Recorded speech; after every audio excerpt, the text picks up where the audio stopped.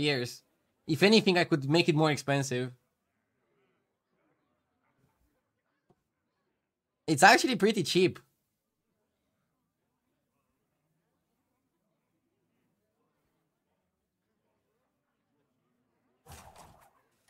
I'll take six of them.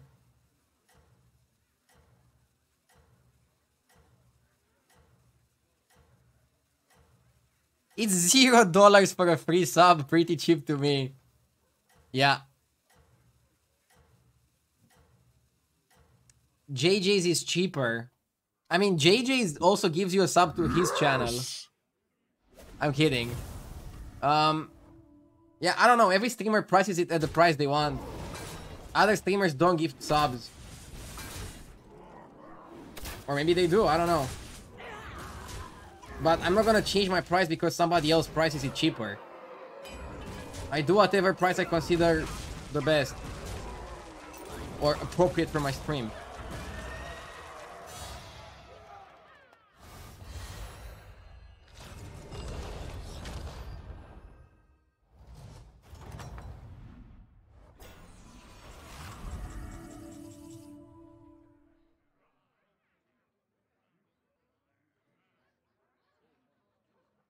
Dog has it at 500k.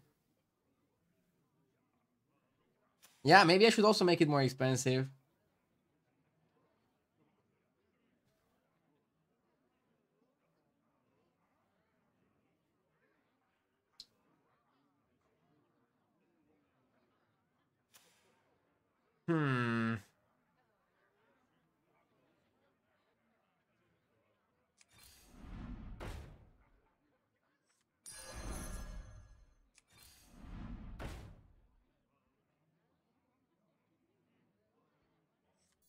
The prickly piper good here?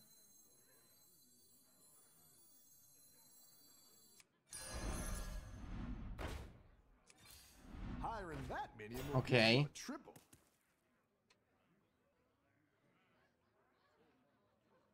Do I benefit from taking a 5?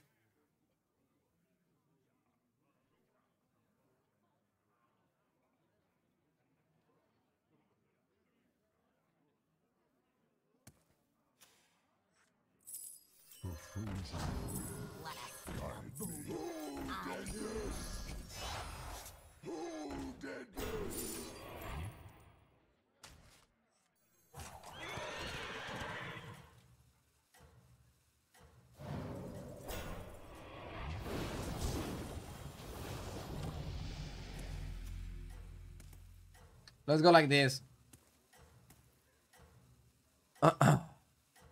Are Dog and Hafu better than Ardu and JJ since they're almost 13k? Or is it different from US to Europe? If they are higher ranked, they are better. On this current patch right now. Last season, JJ and I, I think, were higher ranked than them, so... I don't know, it just depends on the season. Some people understand the metagame better in some seasons than other people. But yeah, usually the current ranking Battlegrounds is a good way to look at like who's playing better. It sounds obvious, but I think the Battlegrounds ranked system is pretty fair.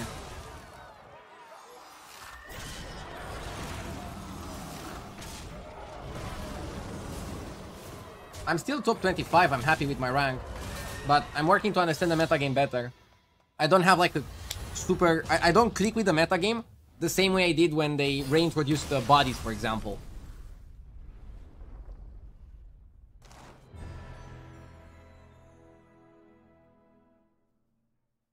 Yeah, I don't know. This Quilboar game was not that amazing. I made a big horse and then I still got wrecked. Hmm. Okay. Maybe I'm playing too much for Quilboar and stuff. But it was the most obvious strategy with how the game was going.